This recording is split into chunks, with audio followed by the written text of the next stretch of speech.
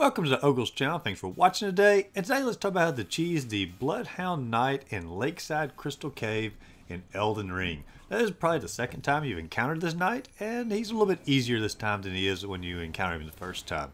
Now, as soon as you enter into the arena, go ahead and throw out a summon. It really doesn't matter which summon it is as long as it's going to be a good distraction for him. Now, once you summon him, what you're going to want to do is head over to the side of the wall here on the left and jump on this first crystal that's sort of sticking out a little bit. Now, once you get onto this crystal, you'll then hop to this little crystal pattern over here. Now, in this crystal pattern, he'll still be able to hit you, but just not with every attack. So it's really going to cut down on how fast your um, bleed comes from him when you hold your shield up. Then once you're up here, go ahead and throw out the poison mist. And then while he's attacking you, he'll slowly get poisoned. And then just simply stay in this area, put your shield up, block all of the attacks, and then keep the poison working its job as the match continues. Eventually you will uh, hit bleed with this because of his hitting your shield.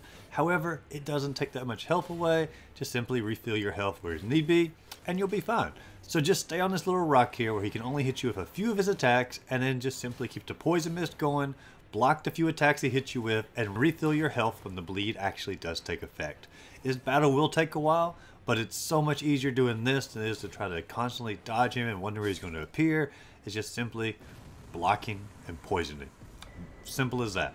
But if you found this video helpful, be sure to like and subscribe to the channel. Check out my other Elden Ring cheese videos. And by all means, go out there, find a great game to play. Just simply have a great rest of the day.